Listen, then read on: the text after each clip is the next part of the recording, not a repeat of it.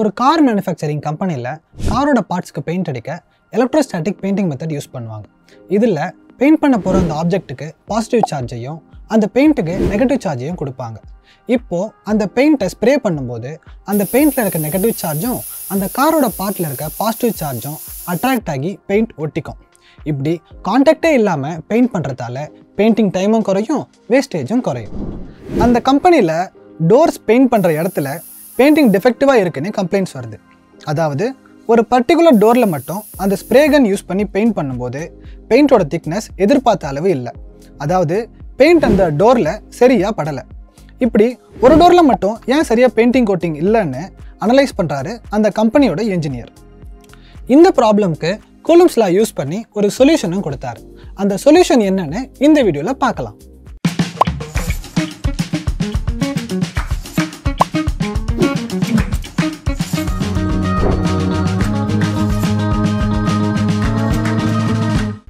இதுக்கு முன்னாடி நாம் கிராவிடேஷனல் ஃபோர்ஸ் பற்றி பார்த்துருப்போம். ரெண்டு மாஸ் இருக்கக்கூடிய ஆப்ஜெக்ட்ஸ்க்கு நடுவில் இருக்க ஃபோர்ஸை கிராவிடேஷனல் ஃபோர்ஸ்னு சொல்லுவோம் இல்லையா? அதே போல் ரெண்டு சார்ஜர் பார்ட்டிகல்ஸ்க்கு நடுவுலையும் ஒரு ஃபோர்ஸ் இருக்குது இந்த ஃபோர்ஸை தான் எலக்ட்ரோஸ்டாட்டிக் ஃபோர்ஸ் இல்லைனா கூலம் ஃபோர்ஸ்னு சொல்லுவோம்.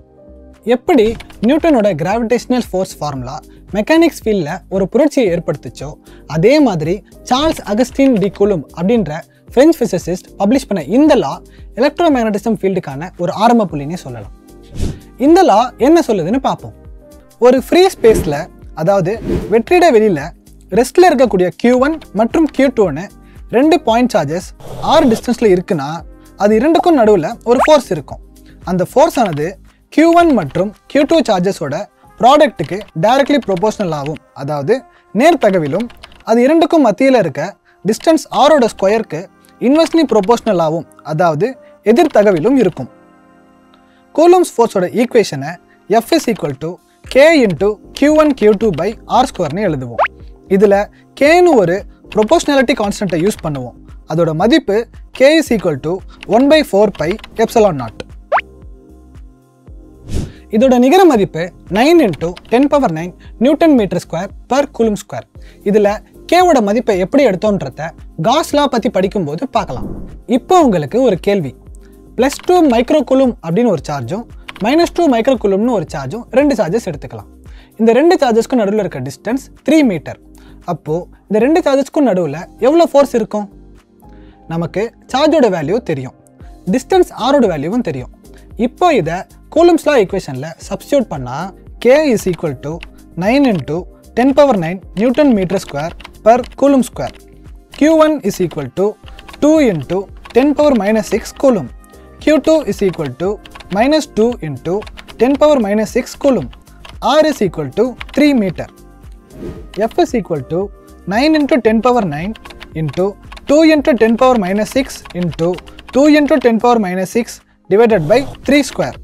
கடைசியா f is equal to 4 into 10 power minus 3 நியூட்டன்னு வேல்யூ கிடைக்கும். இங்கே உங்களுக்கு ஒரு சந்தேகம் வரலாம். என்ன இது? இந்த நெகட்டிவ் சார்ஜ் வேல்யூவை ஃபார்முலாவில் சப்ஸ்டியூட் பண்ணும்போது பாசிட்டிவாக தான் சப்ஸ்டியூட் பண்ணுறோம் நமக்கு ஃபைனலாக கிடைக்கிற வேல்யூவும் பாசிட்டிவாக தான் கிடைக்குதே அப்படின்னு.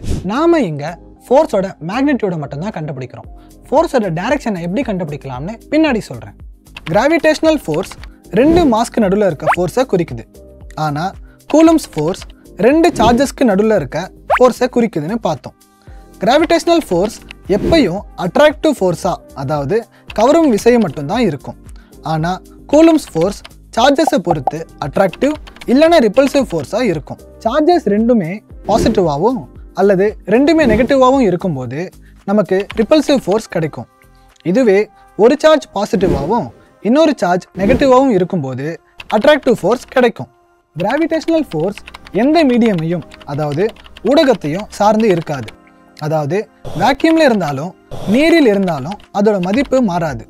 ஆனால் கூலம்ஸ் ஃபோர்ஸ் அது இருக்கக்கூடிய மீடியமை பொறுத்து மாறும். வேக்யூமில் கூலும் ஃபோர்ஸ் அதிகமாக இருக்கும். இதுவே வேறு வேறு டைஎலக்ட்ரிக் மீடியமில் கம்மியாக இருக்கும். ஒரு டைஎலக்ட்ரிக் மீடியமில் எலக்ட்ரோஸ்டாட்டிக் ஃபோர்ஸ் அந்த மீடியமோட டைஎலக்ட்ரிக் கான்சென்ட்டை பொறுத்து மாறும். இந்த டைஎலக்ட்ரிக்கை பற்றி இன்னொரு வீடியோவில் டீட்டெயிலாக பார்க்கலாம். இப்போ கூலம்ஸ் ஃபோர்ஸ் பற்றி உங்களுக்கு தெளிவாக புரிஞ்சிருக்கும். இப்போ உங்களுக்கு ஒரு கேள்வி. Q1 மற்றும் Q2 மதிப்புள்ள ரெண்டு சார்ஜஸ் ஆர் தொலைவில் இருக்குன்னு எடுத்துக்கலாம்.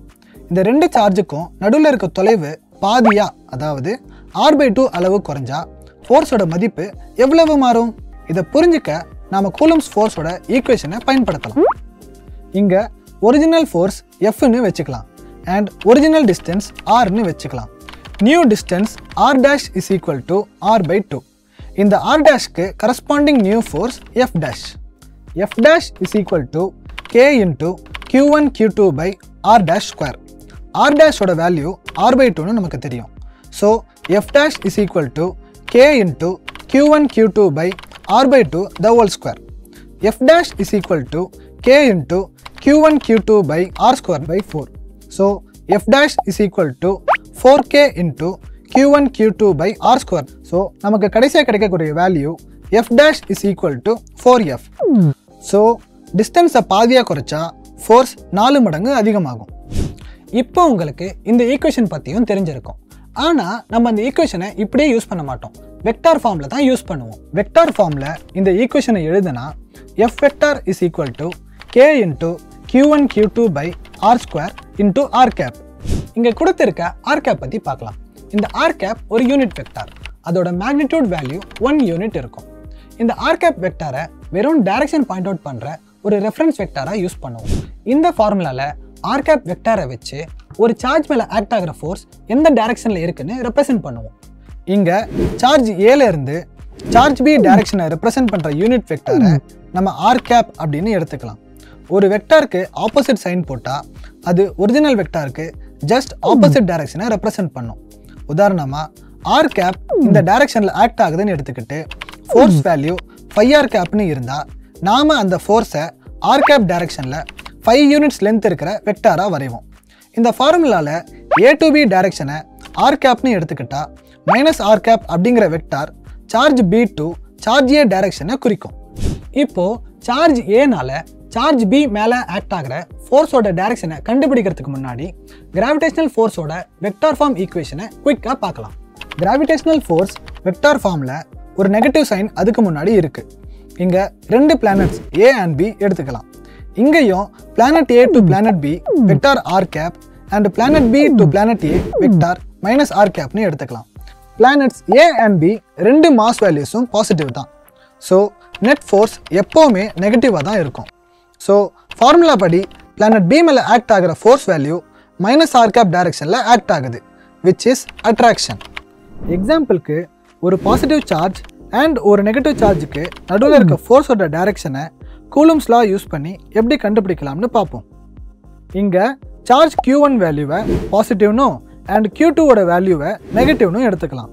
இதை ஃபார்முலாவில் வெக்டார் ஃபார்மில் சப்ஸ்டியூட் பண்ணால் சார்ஜ் Q2 டூ மேலே கியூ ஒன் மூலமாக ஆக்ட் ஆகிற ஃபோர்ஸோட டைரக்ஷன் மைனஸ் ஆர் கேப்னு வரும். So charge Q two moves towards Q one which is attraction ரெண்டு பாசிட்டிவ் சார்ஜஸ் ஆர் ரெண்டு நெகட்டிவ் சார்ஜஸ் இருந்தால் ஃபோர்ஸோட டைரக்ஷன் எப்படி இருக்கும்? இந்த ஃபார்முலாவில் Q one and Q two ரெண்டுமே பாசிட்டிவ் ஆர் நெகட்டிவ்னு போட்டாலும் அதோட ப்ராடக்ட் பாசிட்டிவ் தான். So ஃபோர்ஸோட direction positive R cap direction which is going away Newton's third law படி Q1 ஒன் மேலேயும் சேம் மேக்னிடியூட் இருக்க ஃபோர்ஸ் கியூ டூ ஃபோர்ஸ்க்கு ஆப்போசிட் டைரக்ஷனில் ஆக்ட் ஆகும். ஸோ ரெண்டு கேஸ்லையும் ரிப்பல்ஷன் தான் வரும். இப்போ நாம் கார் மேனுஃபேக்சரிங் பிளான்ட்டில் இருக்க எலக்ட்ரோஸ்டாட்டிக் ஸ்ப்ரே பெயிண்டிங் இஷ்யூக்கு வருவோம். இதில் மீதி டோர்ஸ் எல்லாம் ஒழுங்காக பெயிண்ட் ஆகுது. ஸோ இந்த ஸ்ப்ரே கனில் எந்த பிரச்சனையும் இல்லை. இங்கே டிஃபெக்டிவாக இருக்க டோரில் பாசிட்டிவ் சார்ஜ் பத்தலை. ஸோ அதனால சரியாக அட்ராக்ட் பண்ண முடியலை. இங்கே அட்ராக்ஷன் ஃபோர்ஸை அதிகப்படுத்த கூலும் ஸ்லாபடி படி அந்த டோரோட சார்ஜை இன்னும் அதிக பாசிட்டிவாக ஆக்கலாம். ஸோ ஒரு சார்ஜ் இன்க்ரீஸ் ஆனால் ஃபோர்ஸ் இன்க்ரீஸ் ஆகும். அந்த டோரில் எவ்வளோ சார்ஜ் இன்க்ரீஸ் பண்ணணும்னு டிசைன் பண்ணி அதை செட்டப் பண்ண கொஞ்சம் டைம் ஆகும் இல்லையா? ஸோ அது வரைக்கும் டெம்பரரி சொல்யூஷனாக இந்த பர்டிகுலர் டிஃபெக்டிவ் டோருக்கு பக்கத்தில் ஸ்ப்ரே பெயிண்ட்டை கொண்டு போகணும். கூலம்ஸ் லா படி டிஸ்டன்ஸ் கம்மியானாலும் ஃபோர்ஸ் அதிகமாகும். இந்த வீடியோவில் கூலம்ஸ் லானா என்னன்னோ எலக்ட்ரோஸ்டாட்டிக் ஃபோர்ஸ்க்கும் கிராவிடேஷனல் ஃபோர்ஸ்க்கும் நடுவில் இருக்க சிமிலாரிட்டிஸ் அண்ட் டிஃப்ரென்சஸ் அது மட்டும் இல்லாமல் இந்த கூலம்ஸ் லாவோட வெக்டார் ஃபார்ம் பயன்படுத்தி ஃபோர்ஸோட டைரக்ஷனையும் கண்டுபிடிச்சோம். இதே மாதிரி இன்னொரு இன்ட்ரெஸ்டிங்கான வீடியோவில் உங்களை சந்திக்கிறேன். பாய்